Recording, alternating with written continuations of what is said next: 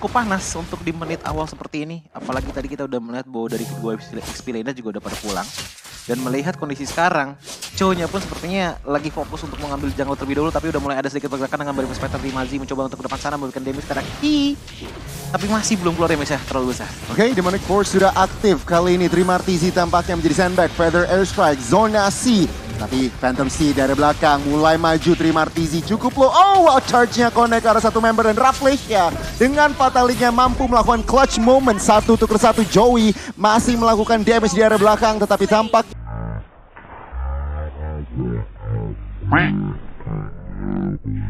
hilang dua tuker dua di antara Riverside kali ini. Uh, dua tuker dua dengan fatalingnya. Oke, menarik juga ya. Jadi masih cukup pasif aja, masih, belum masih. terlalu proaktif. Idaman kali ini sudah mulai turtle-nya akankah dipaksa kontes. Oh, challenge Raja Connect Joey mendapatkan turtle retribution-nya dan Feather Airstrike dari belakang membantu damage. Speechless mendapatkan satu, Melisanya mendapatkan satu, tate bangkaknya Yasbi re-engage ke arah belakang dan tampaknya Rafflesia terpaksa menggunakan flicker dan Roundel akan mendapatkan satu buah kill dan Idaman. Sebelumnya aja kita bisa melihat bahwa Roundel pun mengambil ke arah full movement speed untuk mengejar siapa pun yang mencoba untuk kabur dari desnya dia.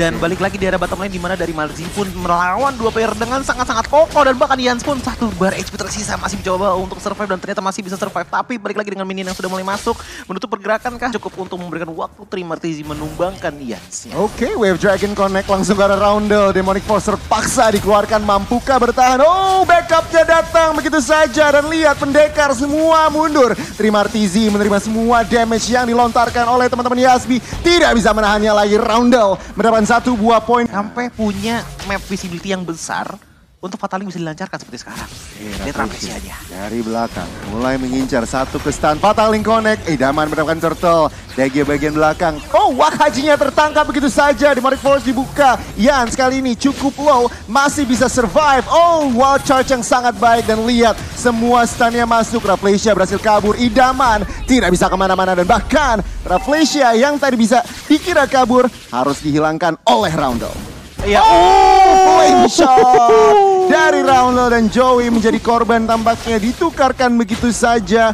Pendekar meskipun kalah orang berhasil mendapatkan satu buah poin. Itu menggunakan high end drive tapi satu wild charge itu sangatlah penting. Karena apa?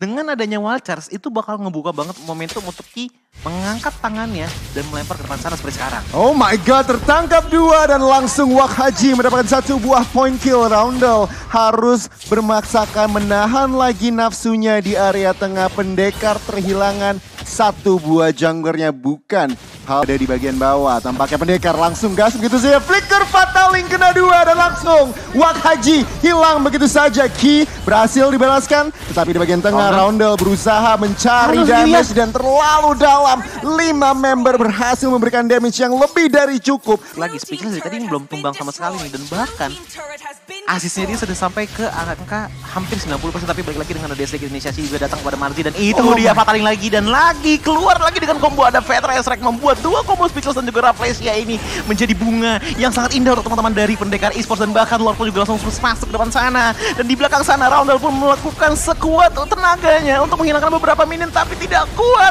Dan pada akhirnya minion pun telah masuk ke dalam teman-teman dari Yasbi Esports ditahan habis-habisan dengan di wall dari Grog dan itu pun tidak cukup untuk menahan kekuatan pendekar di game pertama match keempat kita hari ini. Pendekar Esports mengamuk setelah menit ke-7, menit ke-8. Mereka benar-benar atur tempo mereka, benar-benar sabar. Tahu, mereka tahu oke okay, ini masih early game, gak terlalu banyak